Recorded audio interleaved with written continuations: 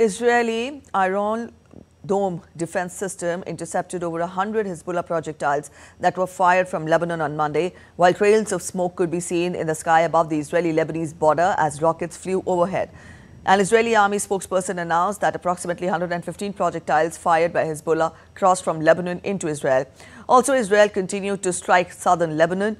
After nearly a year of exchanging fire across the border, Israel intensified its strike on southern Lebanon and beyond over the last month.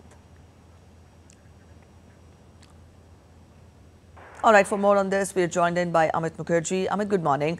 Now, uh, the Israeli parliament has uh, banned the uh, the representatives of UNRWA from the country. Help us understand the consequences of this move and also to what extent will it hamper uh, the accessibility of humanitarian aid in the region?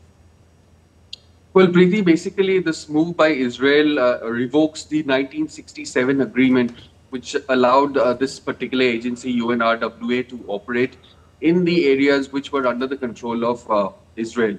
Uh, that includes, of course, Jerusalem, uh, East Jerusalem, and West Bank. But now, because of this, uh, uh, the Israeli government is now restricting the work of this UNRWA in, in its own territory. primarily, there is two reasons. One is, of course, Israel has been citing that people who were involved, who are associated with this organization are also affiliates of Hamas. In fact, investigations actually revealed that there were about nine people, nine persons who were uh, part of the uh, Hamas organization and were also working for this UNRWA. Now, the other thing is that this agency has been, uh, this is what the allegation of Israel has been, that this agency has been kind of promoting hate uh, against um, you know Israel. You know that this is what they have been teaching Palestinians. And uh, also another thing is that uh, you know uh, this agency was formed about a year after Israel state was actually formed in 1948. So at that time, UN had uh, formed this particular body to assist all those Palestinians who were displaced during the formation of the Israel state in 1948. This this organization started its operation in 1950s.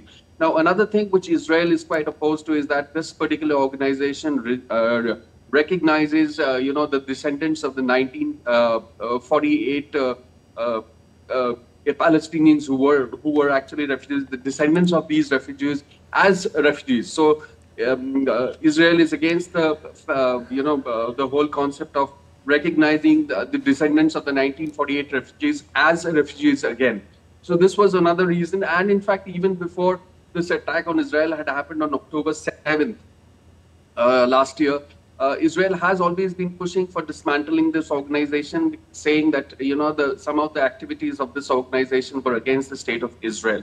In fact, this uh, the two bills were passed with overwhelming majority. In fact, one was passed with 92 versus uh, 10, and the other was passed with about 87 uh, uh, in favor of this bill against nine against nine who were opposed to this. Preeti. All right, Amit, also at the same time, the US has uh, come down heavily on Iran uh, at the UN, United Nations Security Council, uh, warning of severe consequences if it undertakes any further aggressive acts against Israel.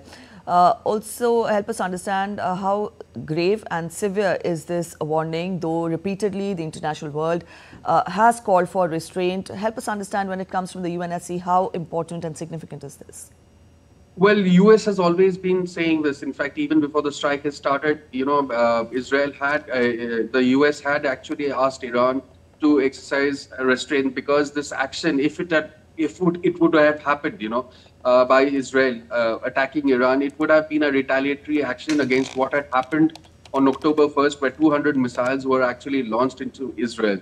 So repeatedly, you know, uh, even when there were talks and and and information was leaked about a, a, a, a prospective uh, strike by Israel uh, on Iran.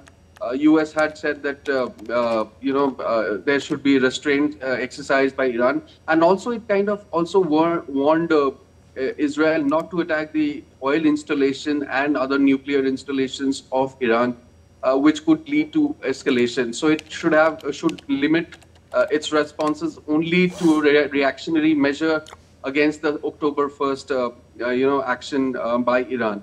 So U.S. Uh, has been, you know, warning both Israel as well as Iran to be uh, to exercise restraint in their in the in their offensive uh, against each other.